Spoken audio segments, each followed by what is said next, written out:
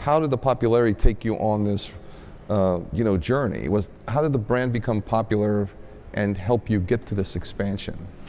I think what's interesting about Milk Bar as a brand is we we opened in New York when media was was so focused on New York and we had this popularity, but I think what we did with it was very was very thoughtful and has been a secret to our success and it's been that we've remained we could do a bunch of different things. We could say, all right, I'm only gonna make 50 compost cookies today, and you gotta start waiting in line at three o'clock in the morning if you wanna get it. Or this compost cookie now costs $500. We could have, we could have created a narrow funnel for that, but that is not who we are.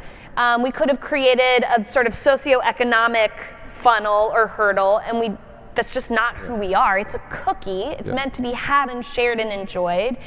And I think because we've held true to the principles of who we are and we've withstood the te- test of time, we have been able to withstand the test of time. The fancy, at, a, at any given line, at a milk bar in New York City alone, you will find potentially the fanciest person and the edgiest college kid standing in line behind each other because that's how we see the world. That's how we exist in the world. And that, more than anything else, has been Sure. what has given us the ability to take the moment that we created, the, the, the media coverage, and to keep going. And we've never lost that compass. And I think more than anything, what, what consumers are looking for are brands that they see themselves in. Brands that they can say, You get me, we have the same values, you see me, and I see you.